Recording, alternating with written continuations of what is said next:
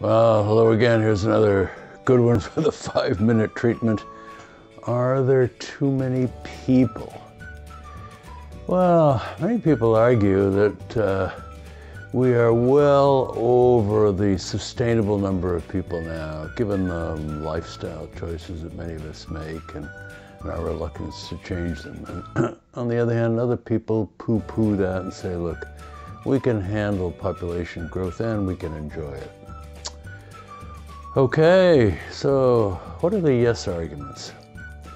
Well, number one, the biodiversity extinction crisis is well underway. It's really quite distressing. We're constantly confronted by lists of beautiful birds that are disappearing. There's mass ocean pollution, there's trash, there's plastics, the coral reefs are declining, rubbish is appearing on beaches and so forth, and all of this is happening because the more people there are, the more consumption there is, and as people get richer, they want to consume more, and that makes the problem even worse. So, all in all, overpopulations resulting in a cycle of, I don't know, environmental despair that we have to somehow break. Uh, we must reduce population. That's the answer. Okay, what about the no people? What do they say? Well, first of all, they say the math is wrong. Because of declining birth rates everywhere in the world, population is sure to peak out anyway, probably before the end of this century. It will then decline. So, so don't keep railing against population growth. It's, it's going to stop. Uh, the apocalyptic prediction, predictions of of uh, Armageddon from population growth have come and gone. They, have always been proven wrong. Uh, somebody said about 50 years ago that we'd run out of food. Well, we didn't, et cetera, et cetera. The big contributor countries to environmental problems, the principal focus of population growth opponents are the ones where population decline is expected. So it's all backwards. Uh, those that are very, very poor, where they have a lot of people, don't produce much environmental uh, damage.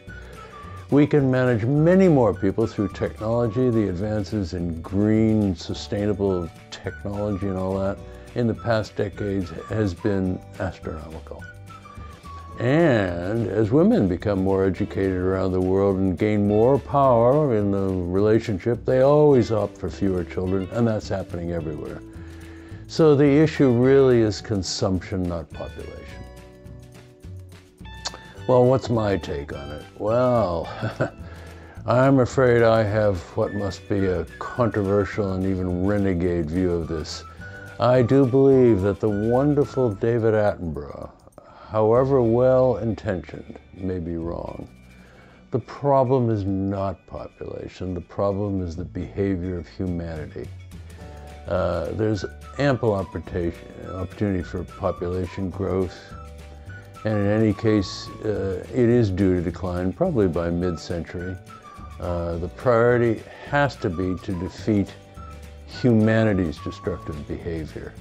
Uh, things like plastic use, uh, discarding it, uh, meat consumption, uh, industrial and vehicular pollution, global warming, and all those other Anthropocene uh, malevolent effects on the earth.